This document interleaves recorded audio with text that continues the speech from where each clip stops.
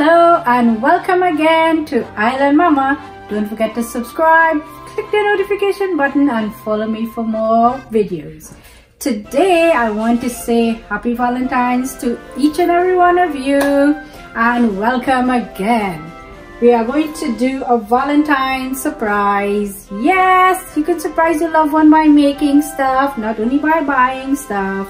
So you know it's always fun. Even if you do it as a couple it's always a good idea to do couples um, things like cooking and making treats and even setting the table. It's you know it helps promote love. That's what it's all about. So let's get started. We are going to dip our strawberries in chocolate. We have marshmallows. And let's see where this goes. Let's go so today I'm using dark chocolate and before I put it in the microwave I'm going to break it up into smaller pieces so that will make sure that the melting process is easier. Let's go! And did you know that chocolate has a natural fat called cocoa butter and it melts fairly easy in our hands.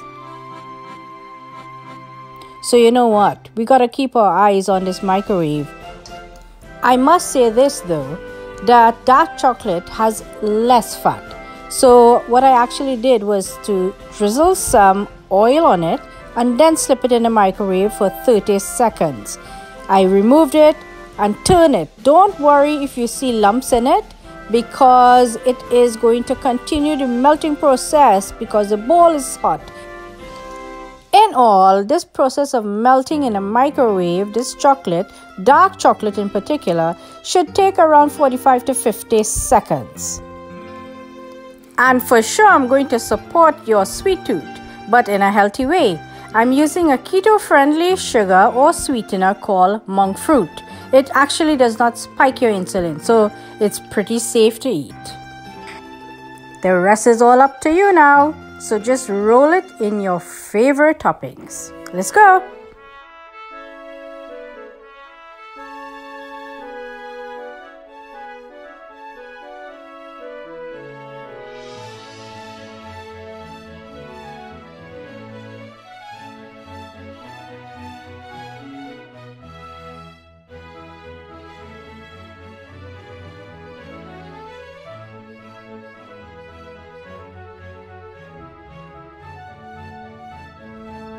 There are many options out there for your presentation, but the classic is always just a simple drizzle of chocolate on the raw, sweet, juicy strawberries.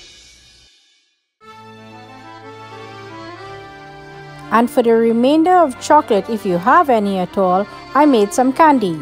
So 2 teaspoons of cream of tartar to half a cup of melted chocolate.